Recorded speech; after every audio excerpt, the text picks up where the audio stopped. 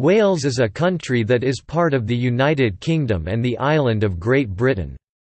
Over the last 250 years, Wales has been transformed first from a predominantly agricultural country to an industrial, and now a post-industrial economy.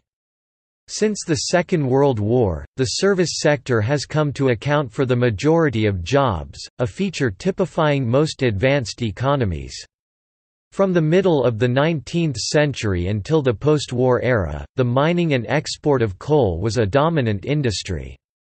At its peak of production in 1913, nearly 233,000 men and women were employed in the South Wales coalfield, mining 56 million tonnes of coal. From the mid-1970s, the Welsh economy faced massive restructuring with large numbers of jobs in traditional heavy industry disappearing and being replaced eventually by new ones in light industry and in services. In the late 1970s and early 1980s, Wales was successful in attracting an above-average share of foreign direct investment in the UK. However, much of the new industry was essentially of a branch factory, screwdriver factory type where a manufacturing plant or call centre is located in Wales but the most highly paid jobs in the company are retained elsewhere.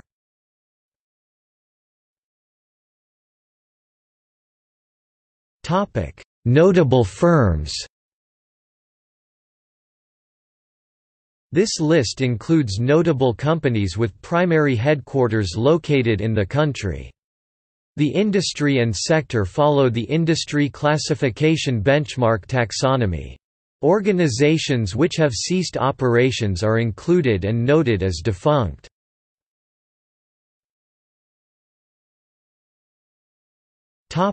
See also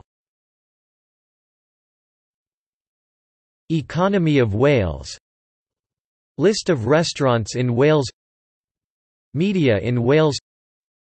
Transport in Wales